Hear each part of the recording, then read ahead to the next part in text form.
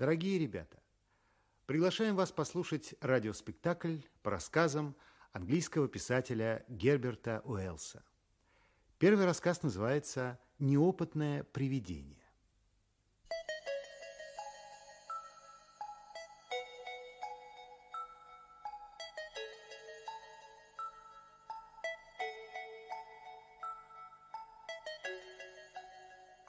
В эту субботу утром мы все собрались в клубе «Сирена».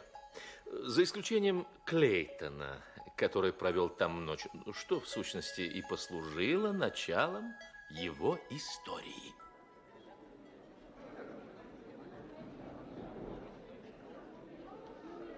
Когда Клейтон начал рассказывать, мы, я и Ивенс по обыкновению подумали, что он врет. Ну, Правда, начал он свой рассказ в манере весьма прозаической, но мы подумали, что тут сказывается только неискоренимое искусство этого человека. Да, так вот, вы знаете, что я провел здесь ночь в одиночестве. Да, да, но не считая слуг, заметил Ивенс. Слуг, которые спали в другом флигеле. Да. Ну и я поймал привидение. А поймали привидение, говорите. Ну и где же оно? Поймали привидение, говорите вы, Клейтон. Как я рад, как я рад. Ну, расскажите нам сейчас же, сейчас же расскажите про это. Здесь, конечно, никто не послушает. Нет. Только бы нам не напугать здешней прислуги. Ведь если пойдет слух о привидениях в этих местах, а, да, да. здесь слишком много теней да, и да. дубовой обшивки, чтобы шутить с этим. А это, видите ли, было не совсем обыкновенное привидение. И я думаю, что едва ли оно снова явится когда-либо. А, значит, вы не удержали его? Да, да. да. У меня не хватило духа. Ай, а что? Да, это самый странный случай в моей жизни. Вы знаете, что я никогда до этого не верил в привидения и ни во что подобное. А тут, понимаете, загнал его в угол. Как? Да, теперь весь материал у меня в руках. Э, говорили с ним, да? Приблизительно около часа. Болтливый оказался.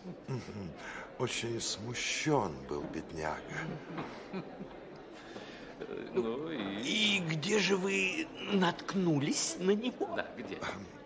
Я никогда и не воображал, какими жалкими созданиями могут быть эти привидения. Что? Я имел случай убедиться в этом.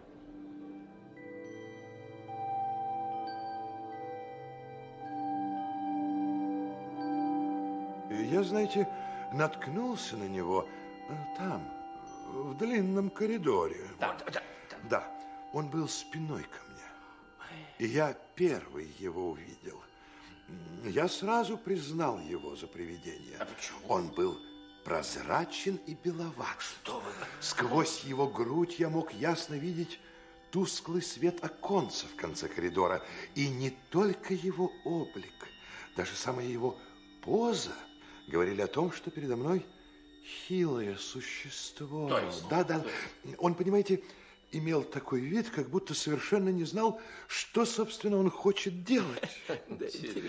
Я э, остановился сзади, очень близко, и, знаете, явно привел его в ужас.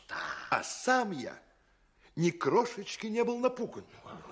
Я думаю, что в таких случаях человек уж вовсе не бывает так испуган или возбужден, как воображают.